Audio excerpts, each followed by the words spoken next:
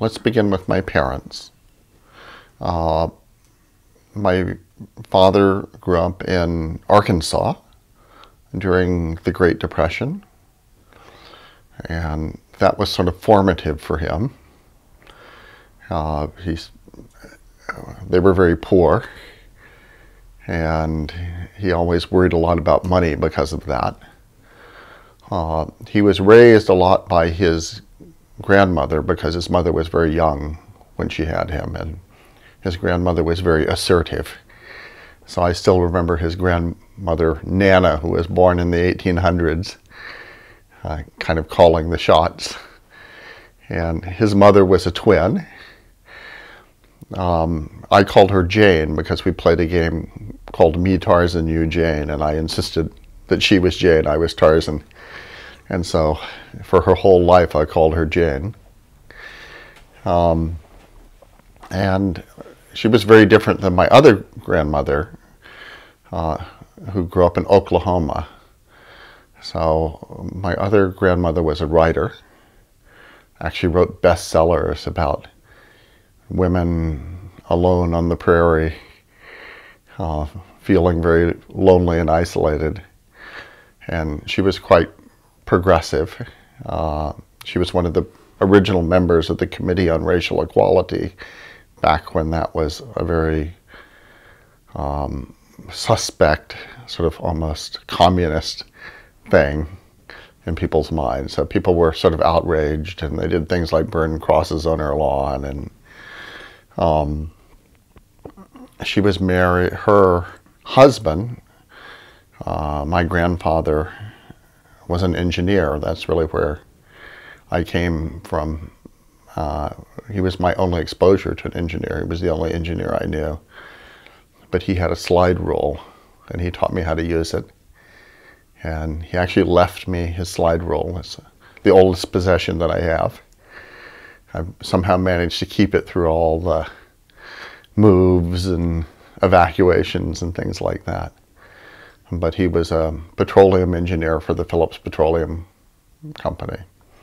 My grandmother was very literary, and it's funny listening to my so they both ended up in this small town in Oklahoma, Bartlesville, and both ended up working for oil companies. And but my father's mother was, I would say, more typical of the town in terms of her political views, and so it's very interesting listening to her descriptions of my maternal grandmother, of how liberal she was.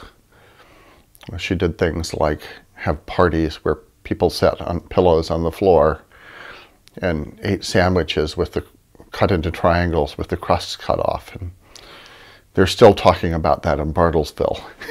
so, um, but she was definitely a uh, very active in the civil rights movement.